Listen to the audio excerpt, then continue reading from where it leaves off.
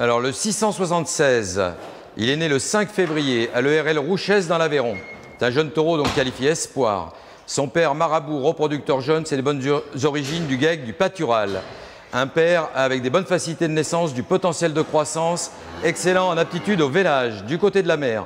On retrouve une fille de ce fameux taureau guignolé, reproducteur reconnu, les bonnes origines de chez Philippe Doulcé, une mère excellente en facilité de naissance et en allaitement.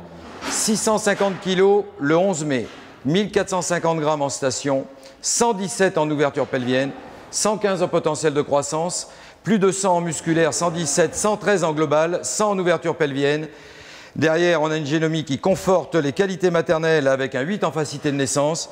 Et vous pouvez apprécier sur ce taureau un taureau très complet, un taureau avec du muscle dans le dessus, dans le filet, un très bon quartier arrière. En plus, c'est un taureau qui a beaucoup de longueur, de corps et de bassin. Un taureau bien racé. Ça, c'est un joli taureau de type mix, une affaire à saisir.